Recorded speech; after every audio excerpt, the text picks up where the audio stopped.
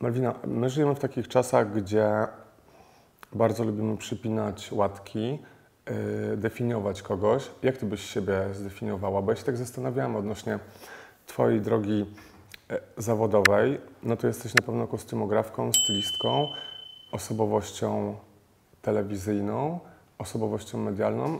Ty jakby w swojej głowie jesteś kim? No to czekaj, to chcemy dalej przypinać te łatki, czy chcemy yy, być Nie, wolnymi? chciałbym, wiesz, posłuchać, jak ty siebie, wiesz, postrzegasz, nie? Yy, Ja jestem Malwiną z Łodzi i nigdy, z Łodzi. i nigdy tej Z Łodzi z Bałut i nigdy tej Łodzi jakby z siebie nie, nie wyplenię i nie, nie zamierzam, bo wydaje mi się, że to miejsce, w którym wzrastałam, mnie bardzo ukształtowało też jakby też ten mój kręgosłup moralny. A w jaki sposób cię ukształtowało? Wiesz co, ludzie z Łodzi, ostatnio o tym rozmawiałam z moim kumplem, który też jest z Łodzi, y, że dziewczyny z Łodzi to są fajne dziewczyny i fajne chłopaki są z Łodzi. Po prostu to jest y, miasto, w którym y, nie było łatwo, trzeba było mocno się nakombinować, żeby przetrwać. Ludzie z Łodzi są pokorni, mają swoje zasady, są nieprzekupni i, i są wytrwali. E, Natomiast dodałabym do tego ten aspekt kreacji, bo ja rzeczywiście bez tej kreacji nie funkcjonuję. Znaczy ja nie jestem w stanie żyć bez dawania codziennemu życiu jakiegoś pierwiastka twórczego. I to może być, wiesz, wyjazd na Mazury na rowerze, a to może być zaprojektowanie, wiesz, nowego garnituru dla Ciebie na przykład, tak? E, Jest coś takiego, co mnie, znaczy ta kreacja wewnętrzna mnie napędza. Czyli ty sobie życia. nie wyobrażasz, żeby być tylko i wyłącznie, ja nie lubię tego sformułowania, ale prezenterką telewizyjną, czy prowadzącą e, telewizyjne show. To jest y, prowadzenie programu The Traitors, to jest w ogóle przygoda w moim życiu. Ja to tak traktuję. To jest jakaś ba baśniowa przejażdżka mm, na zupełnie innym poziomie mm,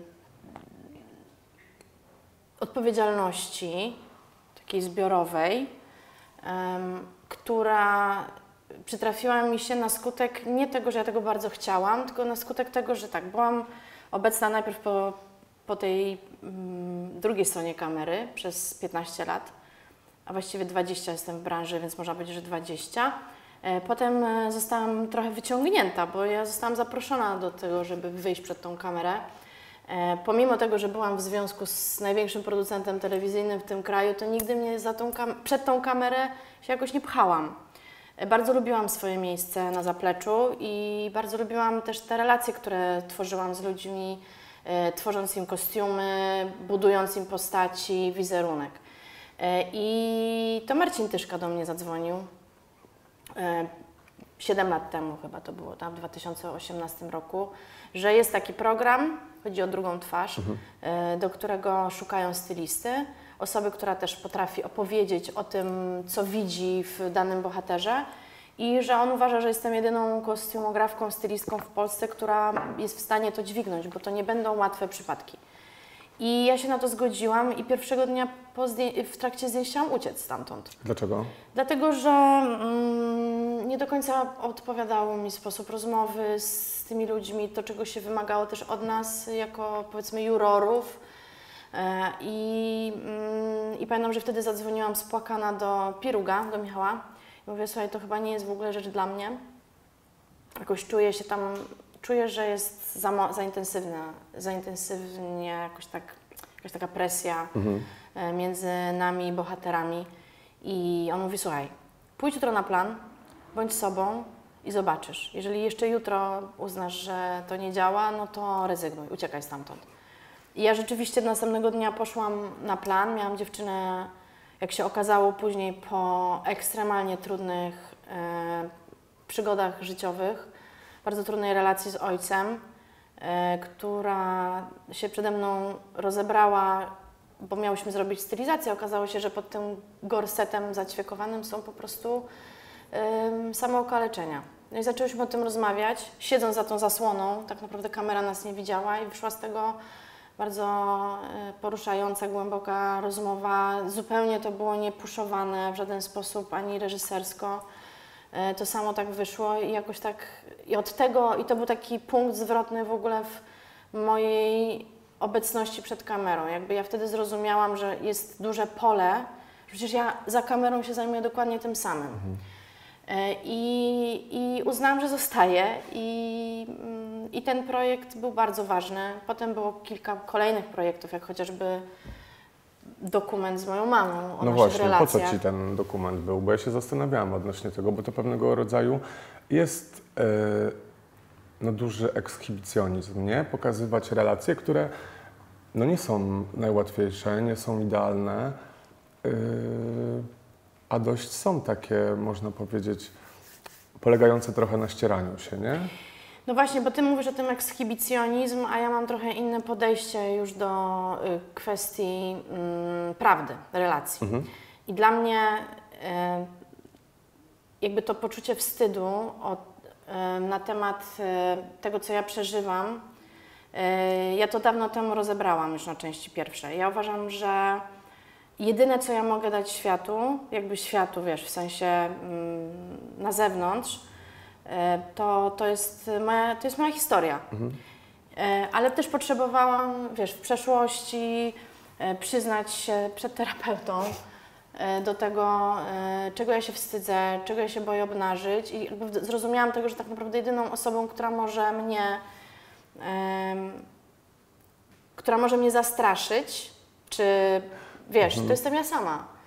E, więc e, i tutaj, i tutaj zgodzenie się do udziału w tym projekcie też było związane z tym, że ja trochę nie zresearchowałam tego dokumentu, nie? Jakby nie oglądałam.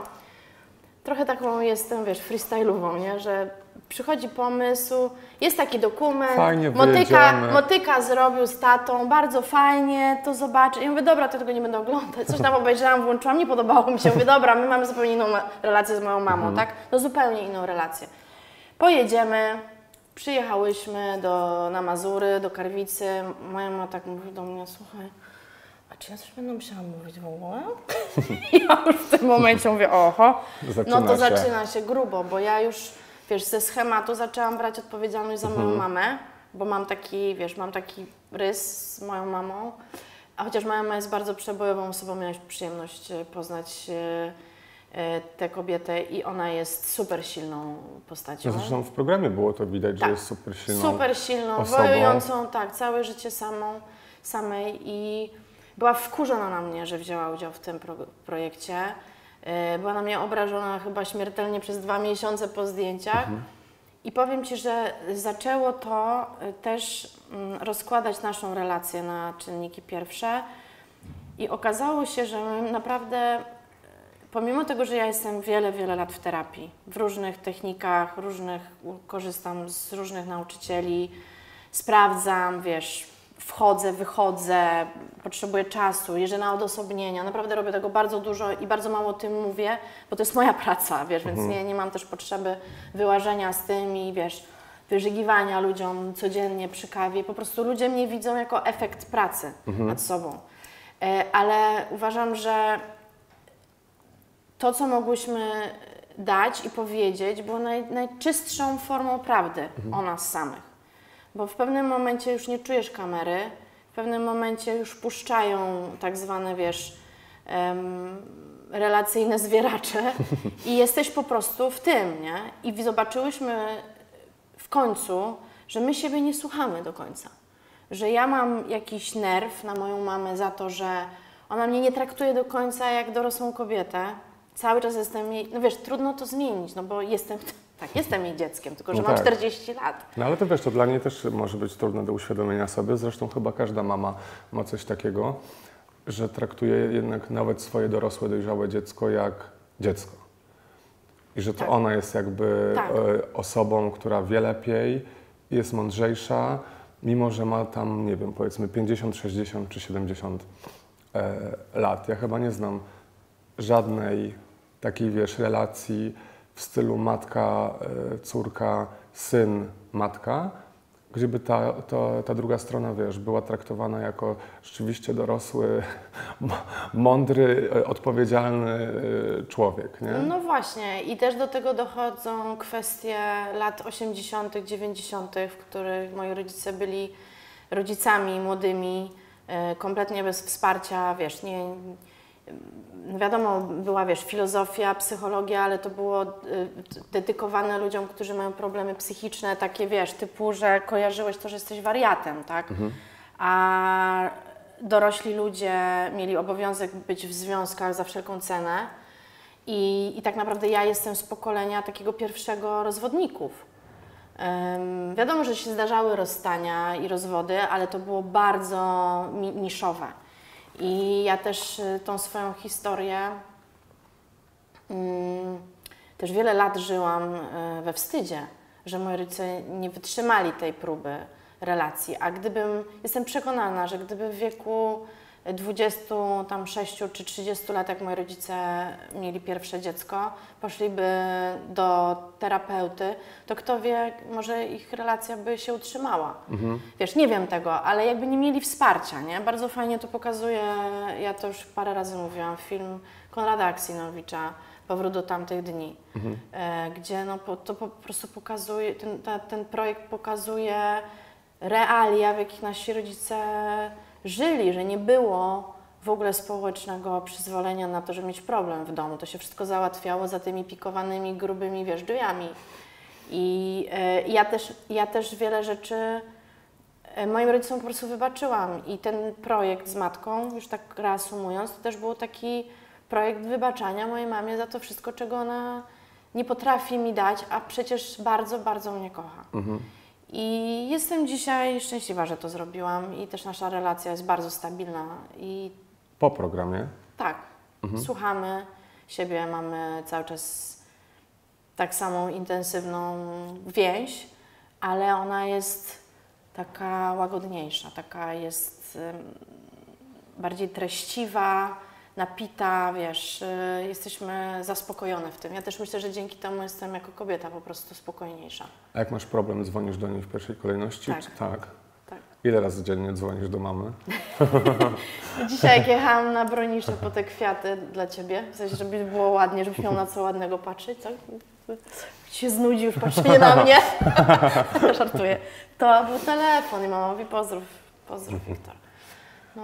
Tak, ko- konsultuję, bo wiesz, jest mądrą kobietą, no więcej przeżyła ode mnie i ma taką zdrowszą, zdrowszą perspektywę. Ja to się zawsze, wiesz, chcę iść bić na pierwszy front od razu, a mama mówi, poczekaj, ale jak już, jak już miną te emocje, to potem zrobisz to, to i to i rzeczywiście jest w mojej mamie bardzo duża mądrość i, i dążę do tego, żeby na stare lata być równie mądrą jak mała mama. kobietą. Powiedz mi, bo ja tak przeglądając różne portale plotkarskie od początku, kiedy ty się tam Nie ma jak zrobić research, prawda, nie historii sztuki, tylko... następnym razem, jak będziemy pisać do wiesz, właśnie do historii sztuki, e, artykuł na twój temat. I ja miał, odniosłem takie wrażenie, że w którymś momencie też ciebie media definiowały przez kontekst facetów, którzy byli obok, obok ciebie. Nie? Tam się y, pojawił w jednym z pierwszych newsów Kuba Wojewódzki, później Nergal, później no, znany producent, o którym ty... y, Inna przy- kolejność, ale to kompletnie nie ma znaczenia. nie, pamię- nie Ale to pamiętam. jest właśnie zajebiste, że to kompletnie nie ma znaczenia. Natomiast jest coś takiego i wydaje mi się, że e, w tym akurat macza, macza palce najbardziej prasa. Bo to prasa stawia kobietę w, w roli przedmiotu. Naprawdę jestem pełna podziwu dla wszystkich e, trenerek, które są żonami swoich męży piłkarzy i, i, i to naprawdę nie jest fajna, nie jest fajna rzeczywistość do końca. Pomimo tego, że wydawałoby się, że to jest bajkowe, e, coś takiego jest w nas e, cały czas nieprzepracowanego, że kobieta jednak e, staje przy mężczyźnie, a nie mężczyzna staje przy kobiecie. Pomimo tego, jakie ma doświadczenia. Zabrał mi news o, o Rinkę to, tożsamość, nie? To jakby to wszystko, co nabudowałam jako artystka na przykład, nie? Moja, No właśnie, chociażby współpraca z Davidem Lynchem, który to okej, też jest mężczyzną, ale jakby łączyły nas no, mocne, mm, mocny projekt, tak? Czy z Tomkiem Bagińskim, e, czy nawet z Marylą Rodowicz, no jakby odarto mnie trochę z tożsamości i z doświadczeń. Ale też chyba przypielić taką łatkę trochę na takiej zasadzie, no tak, laska bardzo wpływowego gościa z telewizji, no to co ma innego robić, jak wiesz, nie, nie zajmować Jak nie się... leżeć w domu i pachnieć i nic nie robić. Nie, no, A zajmować- tymczasem ona z tymi torbami Ikei zasuwa i robi mu zajebiste programy. No. Mhm. No to była moja perspektywa. Zresztą mogę, wiesz, e, ekipy ochroniarzy i operatorów, dźwiękowców tutaj przyciągnąć, oni potwierdzą, że po prostu byłam, wiesz, e, takim samym wielbłądem zaciągniętym do, do uprzęgu, jak, e, mm, jak cała ekipa no, twórców, którzy zasuwają, wiesz, na zapleczu. I od jednej osoby, która z Tobą pracowała, no słyszałem, że Ty nie jesteś e, łatwą osobą we współpracy, że jesteś trochę e, zamo- zamordystką, jeżeli o to, Co to znaczy? no, że nie ma półśrodków, Nie ma. No w tej pracy nie ma półśrodków. nie ma, wiesz, y, robienia czegoś na, na pół gwizdka. Nie ma. Mm, Nie ma, jeżeli chcesz zrobić e, coś, co mm, ociera się o sztukę, co jest e, mm, zrobione z namaszczeniem, to nie ma czasu na robienie sobie, wiesz, selfiaków z gwiazdami, nie ma czasu na, e, wiesz, obiadki. W tej branży e, trzeba dokładnie wiedzieć, czego się chce. I natomiast przez tą branżę przesiewają się setki ludzi, którzy myślą, że wiedzą coś na temat e, tej branży, a tak naprawdę chcą być popularni. I u mnie w pracy jestem ostatnią osobą, e, która wychodzi sobie zrobić zdjęcie z gwiazdą, która siada na krzesełku reżyserskim, żeby sobie zrobić fajną fotę na Instagram. E, I niestety mm, ten przesiew u mnie w pionach był zawsze bardzo mocno weryfikowany, e, bo zostawiali ludzie tylko ci, którzy naprawdę chcą robić te kostiumy, a nie chcą po prostu być sławni. E, I jak ja to mówię, ja zawsze ostatnia schodzę ze statku i też mam świadomość tego, że bardzo mocno kontroluję każdą, każdy detal, każdy szczegół. Jesteś kontrol Bo ludzie. Słucham? Jesteś ko- kontrol freakiem? Wiesz co, jak mam dobrą ekipę, ludzi odpowiedzialnych, którzy mm, mają powagę, ma, mają poczucie powagi sytuacji, że w programach na żywo no nie ma dubla, e, to, to nie, to, to, to daje odpowiedzialność. Natomiast mało jest w ogóle ludzi, którzy się znają na tej robocie. No przecież nie zatrudnię Macieja Zienia do, do swojego teamu, tak? No tworzysz to z ludzi, którzy mm, bardzo często niestety nie mają zielonego pojęcia o tym, o tej, o tej branży. I mm, jest masa osób, jak na przykład mój krawiec Witek, który ma 70 lat i z którym pracuję już chyba 15 lat i który mnie nigdy nie zawiódł. I między nami nigdy nie było ani podniesionego głosu. No, on tam czasami się tam nie wkurza, jak mu przyniosę za, za skomplikowane projekty. No i niestety ta, to pokolenie młodszych ludzi nie rozumie tego etosu pracy, że rzecz oddajesz dopiero wtedy, kiedy ona jest gotowa, a nie wtedy, kiedy ona jest wyklejona tylko z przodu, a z tyłu to się tam, wiesz, obleci. No ja mam takie podejście bardzo detaliczne do, do, do projektowania i do realizacji potem tego. Czyli jesteś upierdliwa.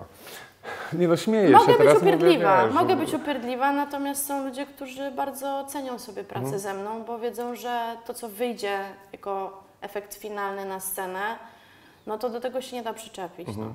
Ale w ogóle nie mamy, nie, mamy w tym, nie mamy w Polsce jeszcze takiego podejścia y, do mody w ogóle. Jakby nie ma mody od couture. Zauważ, że jest kilku krawców, y, którzy są bardzo często niezrozumiali. Oni muszą tłumaczyć, jakby, dlaczego ich rzeczy kosztują tyle pieniędzy, bo potrzeba do wykonania tych rzeczy setek godzin na wykończenie, na zrobienie konstrukcji, na podklejenie tego w odpowiedni sposób, na znalezienie technologii, bo jeżeli robisz coś z koronki, którą widzisz pierwszy raz jest jedna sztuka takiej koronki wyprodukowana specjalnie dla Ciebie, to musisz 15 razy obejść manekin, zanim, zanim utniesz, zrobisz ten, to jedno cięcie.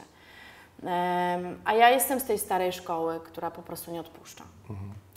Powiedz mi, ile osób e, z show biznesu zadzwoniło do Ciebie, żeby pogratulować Ci, że prowadzisz najpopularniejszy program w TVN? A ty jesteś podstępny. No, tu porozmawialiśmy trochę o modzie, o Twojej karierze, także teraz, no też o karierze można powiedzieć, no ale o tej backsta- backstage'u kariery. No nie było tu za wiele telefonów. Mhm. E, Było kilka telefonów, uwaga, z konkurencji. W Żebyś przyszła. Nie, z konkurencji, czyli z e, konkurencyjnych stacji, Mhm. od producentów, którzy siedzą w tej branży naście, 10 lat. Nawet jeden producent, który już nie pracuje, e, a pracował w telewizji polskiej 35 lat chyba, czy 40. Rinka zadzwonił? E, Rinka wysłał mi SMS-a. O, że fajnie? No, Malwuniu, congratulations. No, bardzo słodkiego SMS-a dostałam od niego. Właśnie wtedy, kiedy wsiadałam do samolotu już na plan. I obok mnie siedział Janek Kępiński. Ale to wiesz, nie ma przypadków. No, y, tak, ja, y, Rinka mi pogratulował i z, ze stacji, no to pogratulował mi na przykład Mateusz Łatki, który się w ogóle potem wkręcił bardzo w ten format. I, ale no, to jest ciekawe. Twoje pytanie jest bardzo ciekawe. Nie za wiele było tych telefonów. Ale jest to dla Ciebie w jakiś sposób przykre, czy poczułaś coś, wiesz, w środku odnośnie tego, że jednak no, było pewnego rodzaju cisza z tej strony, wiesz, e, branży. Mówię tutaj ze strony branży, z tych wszystkich mm, no, Twoich kolegów, koleżanek, celebrytów, gwiazd, innych prowadzących, nie? Nie, bo się tak zastanawiam, no bo Ty, mnie się gdzieś tam wydaje, że jesteś osobą lubianą, no chyba, że skrytykujesz kogoś za to, że źle wygląda. Nie Wiesz no, co, nie jestem się. chyba, właśnie chyba nie jestem osobą, ja nie wiem jaka ja, ja nie wiem, ja nie wiem co ludzie o mnie myślą. Znaczy ja wiem kto o mnie myśli źle i te osoby oczywiście nie zadzwoniły. Chociaż fajnie by było, gdyby zadzwoniły, bo właśnie to by była jakaś zmiana. E, Ale wiesz co, ja, za, ja bardzo dobrze znam ludzi i ja nie oczekuję tego, żeby ktoś nagle, wiesz, łamał swoje ego na kawałki i wykonywał ten telefon, bo to jest za trudne. E, Natomiast e, wiesz, no, mm, ja wiem, kiedy ja dzwonię. Ja wiem, kiedy ja dzwonię i czasami też to wymaga ode mnie właśnie pokruszenia swoich niechęci do, do danej osoby. E, Jeżeli uważam, że to jest super stanowisko i super rola dla, danej, do, dla danego człowieka. No wiesz, jeżeli chodzi o programy telewizyjne, no to ten tort ma bardzo niewiele kawałków i wiesz, z drugiej strony trochę pojawiłaś się jako zagrożenie, nie? Bo to może nie będzie jeden, jedyny program, który poprowadzisz. Nie wiem, czy rozmawiasz o jakichś innych rzeczach, czy, czy, czy nie, ale wiesz, no, w momencie, kiedy ta branża jest bardzo, bardzo wąska, pojawia się ktoś nowy, nie? Kto zdobywa jednak bardzo duży, dużą publikę. A co za tym idzie, no telewizja będzie chętna, żeby kontynuować, czy tę osobę gdzieś przysposobić. No, ale wiesz, no tak, tylko mówisz o, o, o takich sytuacjach, w, której, w których rodzi się bardzo duża frustracja. Ja, Ja show pod- jest sfrustrowany. Jest, y, a ja wiesz, y, ja, ja, ja po pierwsze wiem, że to nie jest na zawsze, że to jest przygoda, że to jest jakiś etap i że w ogóle niedobrze jest dla telewizji i dla samego bohatera, który występuje, być wszędzie. Y, Przez to właśnie, że 20 lat siedzę na zapleczu, widzę tą sinusoidę. Żebyś inspirował ludzi i zaciekawiał, musisz znikać na jakiś czas. To jest bardzo zdrowe dla Ciebie i dla widza.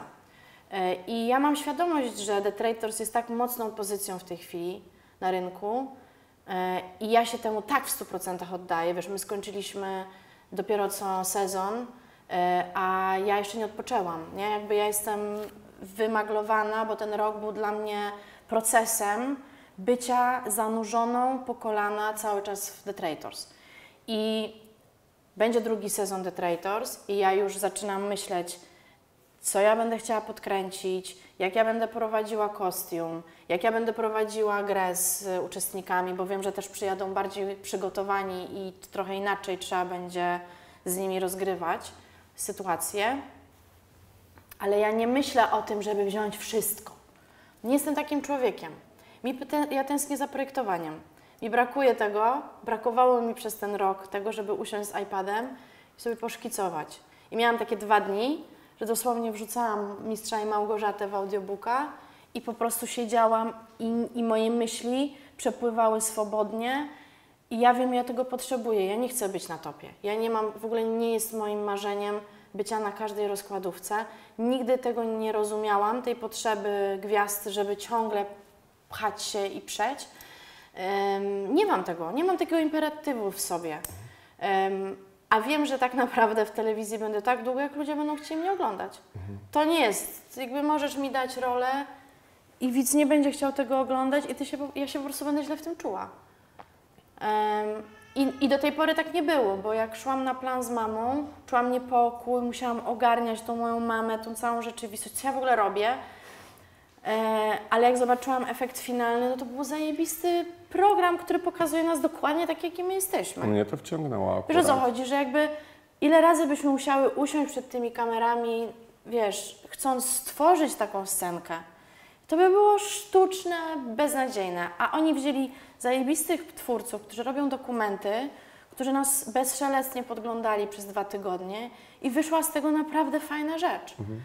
I, mm, I tak długo będę w telewizji. Jak telewizja będzie miała coś do zaoferowania, a ja będę czuła, że to jest dla mnie. Nie wszystko już jest dla mnie. A co nie jest dla ciebie? Em, Słuchaj, byłam kiedyś na castingu.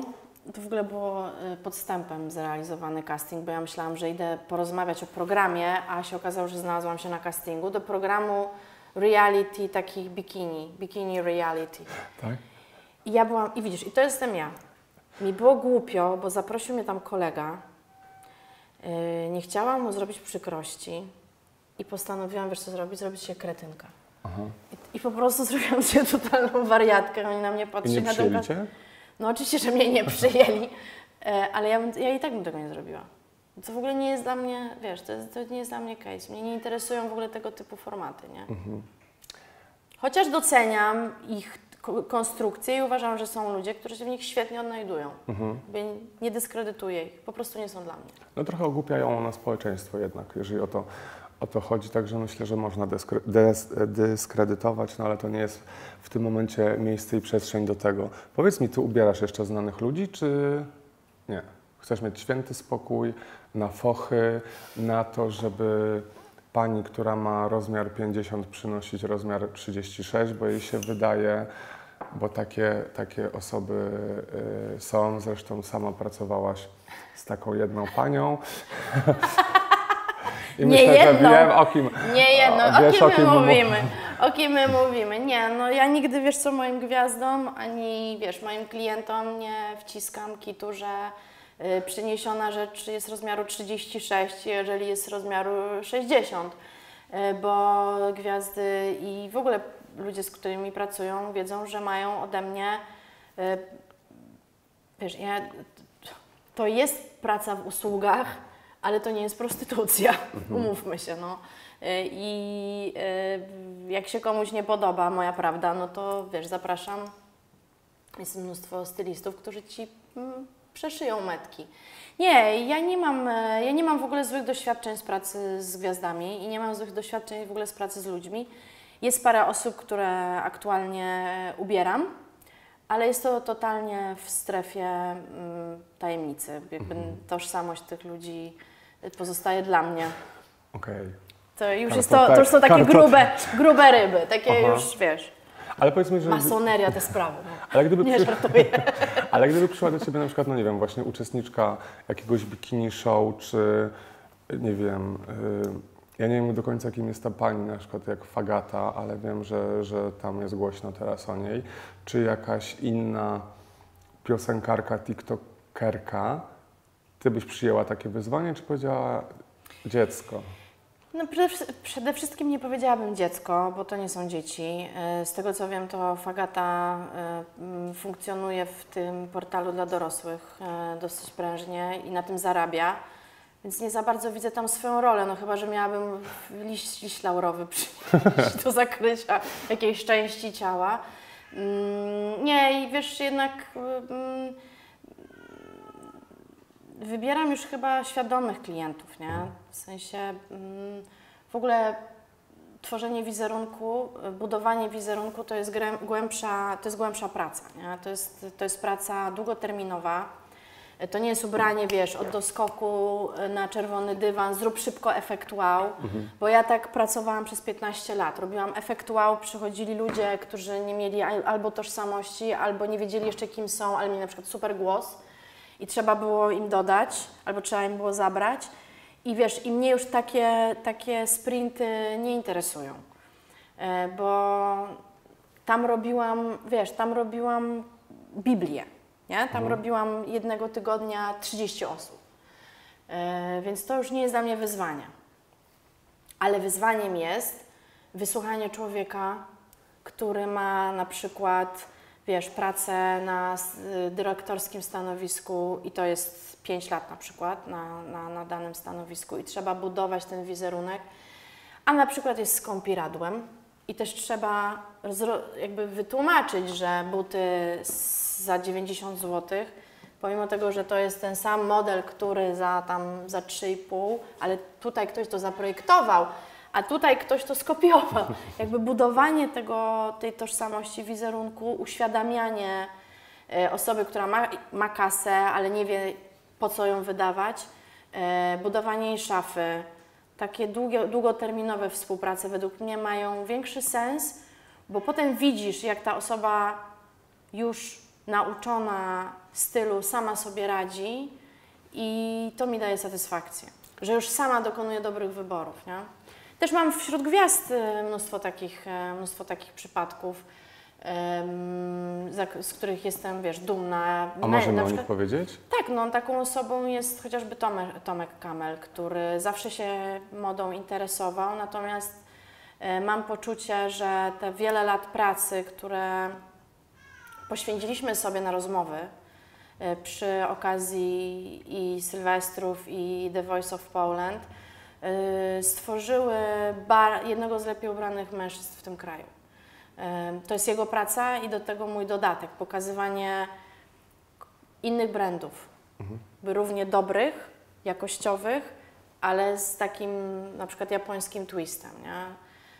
Mm, Można powiedzieć to samo o Andrzeju Piasecznym, tak? że, że jego wizerunek jest taki bardzo stabilny, może być przewidywalny, ale mm, wiem, że gdzieś tam też dołożyłam e, kropelkę do, do tej świadomości i, i mogłabym tu wymienić bardzo, bardzo dużo nazwisk, ale pozostańmy przy tych męskich. Okej. Bo tą męską modę się w ogóle dyskredytuje też w, w Polsce, nie? No tak, to masz rację. No, Wiesz, że- dla mnie rozmowa z Oliwierem Janiakiem, który też ma świetny gust, wiesz, to są rozmowy o niuansach w modzie, o tym, jak but jest wykonany, jak jest wykończony. Wtedy ja czuję, że ja żyję, bo ja mam, bo ja mam wiesz, ping-pong, nie? Mhm. Jakby nie gadam tylko w puste, ale ja, ja, ja, ja mam z tego frajdę po prostu czystą, nie? Bo, bo, bo rozmawiam z osobą, która jeździ po świecie, docenia polskich krawców, docenia polskich rzemieślników. To jest styl. Mhm.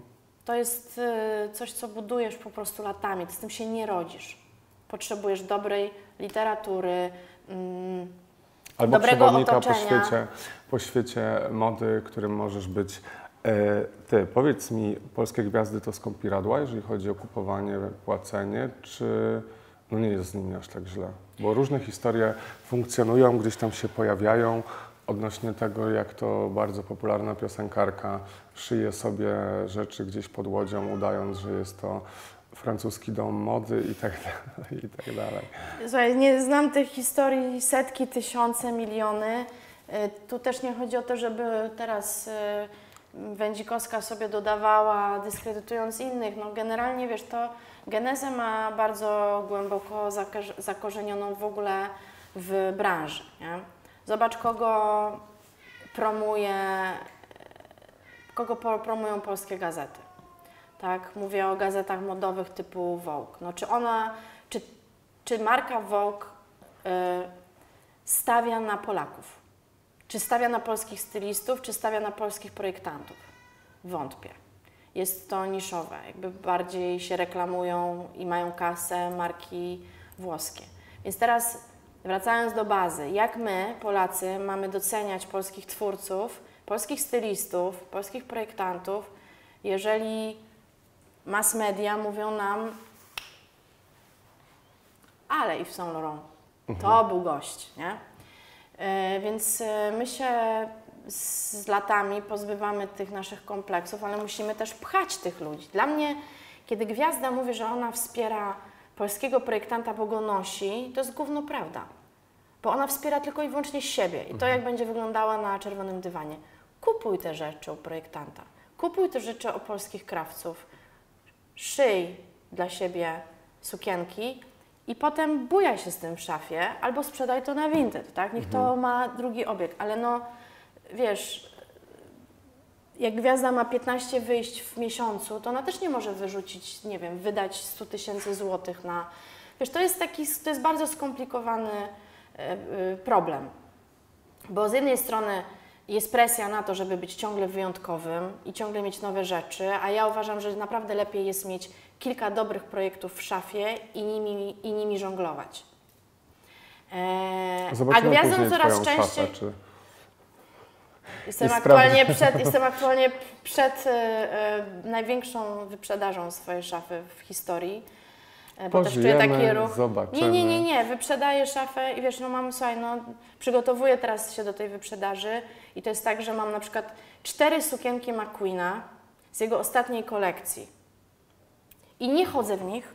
One kosztowały siana, ale boję się ich pozbyć, bo wiem, że jak je sprzedam, To to- serduszko będzie boleć. Wiesz co, to już jakby zamknę naszą, jakąś, jakąś, jakiś mój sentyment do tego projektanta, który już dawno się rozłożył, pewnie trzy razy. Wiesz, nie ma tak. go, no nie ma go, a, a pamięć po nim pozostaje. No chciałabym chociaż mieć jedną rzecz w, swojej szafie, tylko że doprowadzam do tego, że ciągle y, mam zapchaną szafę sentymentami, nie? I to, co chcę powiedzieć, nie chcę oceniać gwiazd. Niech każdy sobie żyje po swojemu. Ale jestem za tym, żeby mieć dobrą jakościową szafę i wspierać tych projektantów i tych twórców polskich poprzez kupowanie ich rzeczy, a nie płacenie 300 zł styliście, który ci przyniesie, zaniesie i nie ma z tego żadnego, wiesz, głębszego, bo to ani się nie ubiera, ani ci nie tworzy, nie tworzy twojej tożsamości, ym, ani nic o tobie nie mówi. Jesteś po prostu wieszakiem, który wiesz, zakłada, zdejmuje. Stwórz swój styl, zaryzykuj. To jest o wiele lepsze. Ja o wiele bardziej wyczekuję na czerwonych dywanach y, gwiazd, które założą 10 razy tą samą sukienkę, ale inaczej ją wystylizują. Tylko brakuje w nas odwagi. No tak, dokładnie. No to się z Tobą zgadza, zgadza, zgadzam, że później przez media taka sytuacja jest rozbuchana, jakby to było wielkie bohaterstwo, założyć drugi raz to samo na ściankę czy czerwone. Jesteśmy czerwone- bardzo pragmatyczne, pragmatyczni, bo y, hejt jest y, jakimś w ogóle, wiesz, y, narodowym, stał się na- narodowym sportem, no i, i ludzie się boją, no. Stań sobie w butach takiej gwiazdy i chciej ciągle być ob, obrzucana błotem. No ja też to rozumiem, nie? Jakby też jestem w stanie wejść i zrozumieć y, empatycznie po prostu. A to, czy płacą, czy nie płacą, no Różnie bywa. Dlatego ja pracowałam przy dużych produkcjach, robiłam, wiesz, sezon, miałam zapłacone, czapka z głowy, do widzenia i robiłam następną, następną rzecz. Jakby ktoś, e, jakiś facet chciał zaprosić Cię na randkę, nie ma szans zaprosić Cię na randkę.